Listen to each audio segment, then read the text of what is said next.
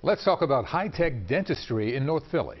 Temple Dental has a new digital lab aiming to bring the best training and treatment to the community. Mm. Health reporter Stephanie Stahl joins us, and you got a chance to check out this new mm. lab. It really is impressive, you guys. Temple Dental is celebrating its 100th, 160th anniversary, one of the oldest and largest dental schools in the country. And now it also has a new state-of-the-art equipment. These are three-dimensional teeth being worked on in Temple's new digital lab.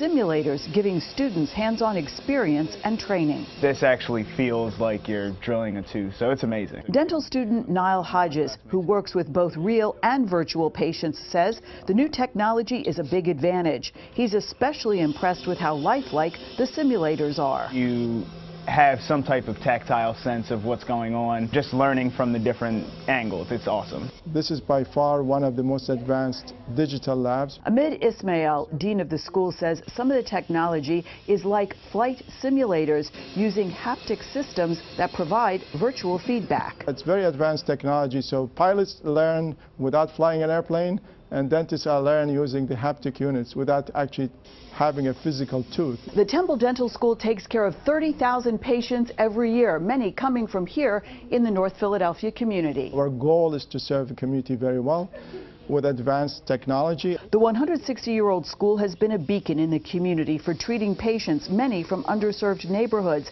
and educating a growing number of minorities. They've been a lifesaver for me. Darlene Chester Fowler, who's a retired nurse, has been a patient at Temple Dental for years. Temple puts out some of the best you know, medical students and dental students. Absolutely. You know, I wouldn't go anywhere else. Hmm.